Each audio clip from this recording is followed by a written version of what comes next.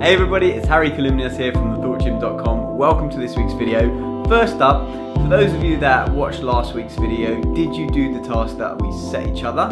And how did you get on? For me, I found it challenging, but when I did find myself doing the thing we were not supposed to be doing, I did catch myself doing that and stop immediately.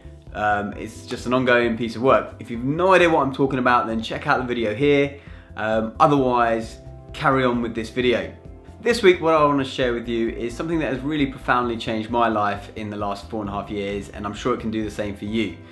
It's something that we, I'm sure, can all do, but many of us don't do, and that is reading. Reading books. I hear you're saying that, okay, big deal, Hari, but the fact is that all the top people in the world, if you want to be better, you have to start reading more books. And I'm not talking about fiction books, where they can be good as well. I'm talking about mainly non-fiction. It was something I never was into at all before.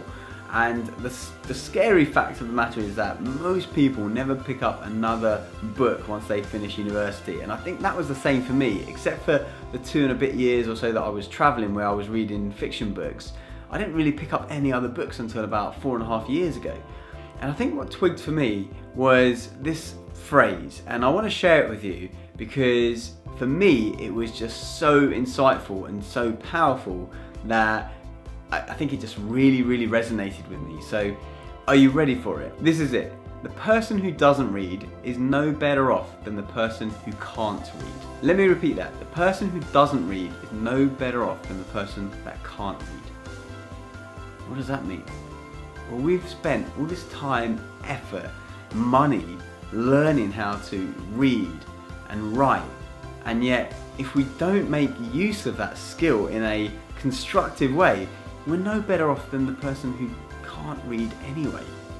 And when I heard that, I was like, whoa, that's pretty deep, at least for me it was.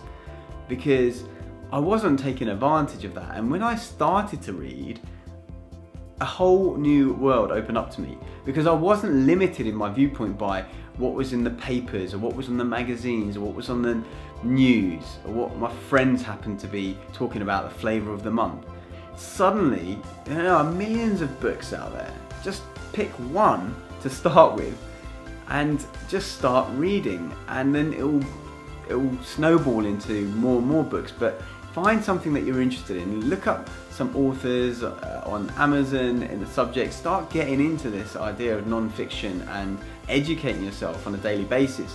Where I was I think part of the problem was when I started working in London I was actually always on the bike. So I was never was never having the opportunity to read.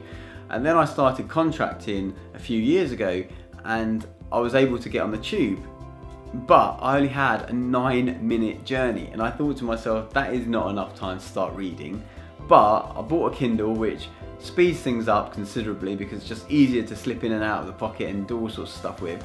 And you know, those 18 minutes a day actually had up and it was and then you'd always find time when someone's running late, you get the Kindle out, you're able to read something, you're queuing up for something you get to read, or you take a five, 10 minute break at lunch, whatever it might be, read. So all of those minutes added up and pretty soon I was getting through probably a book every couple of weeks actually. And I, am I'm a pretty fast reader, I'll admit, but you know, now I've read close to like 200 odd books in the last four years, four and a half years, with knowledge that I would never have been able to have gained any other way. So my plea this week really is if you're not already engaged in some kind of educational reading to help further your career, your relationships, your life, your health, whatever it might be, start. Start today. It doesn't even matter sometimes where because you're going to read or start to read books which maybe don't resonate or aren't good for you, whatever it might be. So just put them down and go to something else. But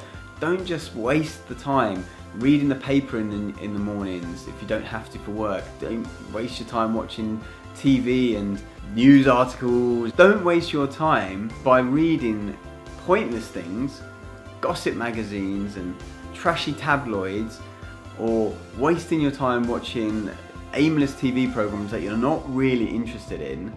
Spend it reading, spend it learning because the more you learn, they say, the more you earn. And I think there's a lot of truth to that. I recently heard a podcast and they were talking about all these billionaires and successful people, and I don't think any or maybe maybe one fluke person maybe doesn't read, but everyone else I think reads continuously. You know, Warren Buffett reads hours a day and he's like one of the richest guys on the planet. So if he's got time to read, I think you got time to read. You just got to find out when and how you're going to do it. And you know, pretty soon, after a year, two years, three years, you're going to build up so much information that's only going to help you, I'm sure. So that's my plea this week.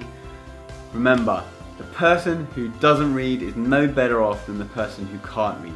So don't waste that education. Don't waste your parents' time or your guardian's time or your time learning how to read and not making use of it today. Preaching over, this week pick up a book that you've been meaning to read for a long time, dust it off the shelf and read one or two chapters from that book. That's all. Don't set yourself the whole book in a week, just one or two chapters. And remember to subscribe to this channel. Comment below, let me know how you're getting on with that as you progress, and I love to hear from you. Until next week, have a fantastic reading week. I wish you all the best. Bye bye.